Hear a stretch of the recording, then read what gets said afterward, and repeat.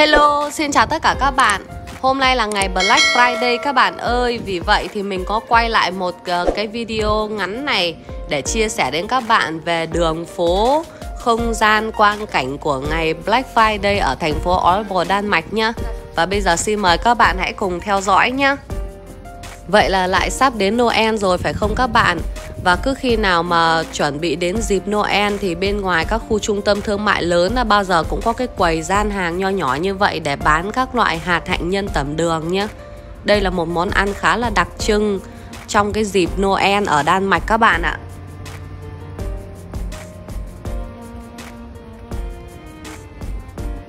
Các bạn ơi, các bạn biết đây là hoa gì không ạ? Mình thấy nó đẹp quá và mình cũng không biết tên nó là gì luôn.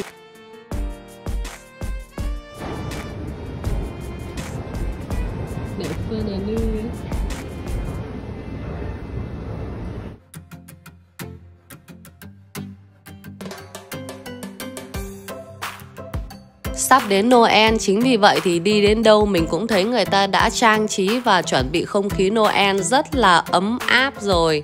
Chưa đến Noel mà đã mang cho mình cái cảm giác là Noel đang về tới nơi rồi nha các bạn. Đó, các bạn thấy người ta trang trí rất là đẹp đúng không ạ? Và hôm nay là ngày Black Friday thì ở tất cả các cửa hàng người ta đều giảm giá 25% Đặc biệt là quần áo, kem, giày dép, túi sách, tất cả các loại nhá nên là khá là nhiều người đi mua sắm nhưng mà bây giờ thì đang là cái giờ mọi người vẫn phải đi làm và đi học. Chính vì vậy thì nó cũng hơi vắng một chút. Nhưng mà mình nghĩ sau cái giờ tan làm ấy hoặc là sau giờ tan học ấy thì rất là đông người sẽ đi mua đồ nha các bạn.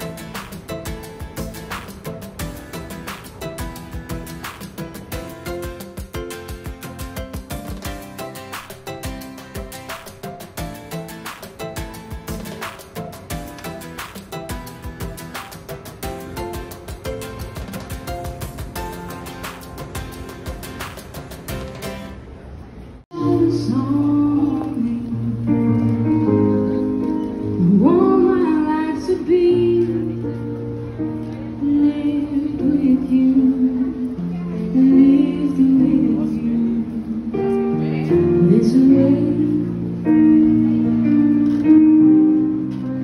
Did everybody say to do?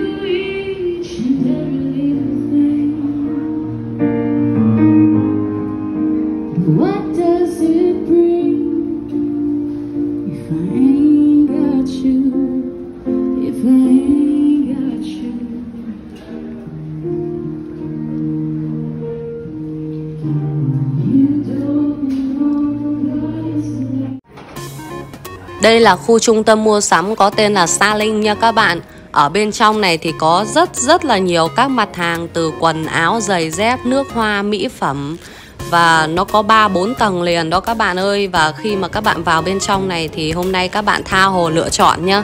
Và khá là nhiều mặt hàng người ta giảm giá này. Và các bạn biết không, đây cũng là một cái cơ hội rất là tốt để cho những ai mà muốn mua quà chuẩn bị cho cái dịp lễ Noel sắp tới đó thì mọi người có thể đến mua quà vào cái ngày hôm nay. Bởi vì hôm nay thì được giảm giá khá là nhiều, chính vì vậy thì người ta đã chờ cái ngày này để đi mua đồ đúng không ạ? Đó các bạn thấy chưa Túi sách cũng được giảm giá 25% này Rất là nhiều mặt hàng nha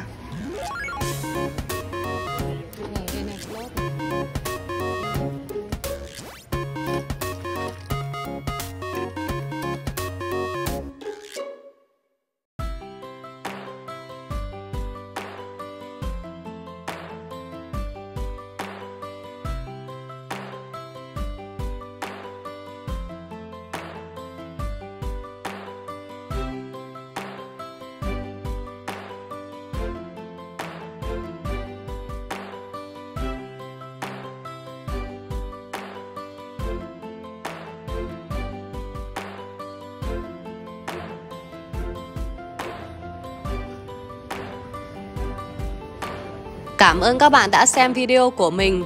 Các bạn hãy nhớ ấn like và ấn đăng ký kênh để ủng hộ cho mình nha. Và đừng quên ấn nút chuông thông báo để các bạn có thể nhận được video mới nhất nhé. Xin chào và hẹn gặp lại các bạn trong video tiếp theo.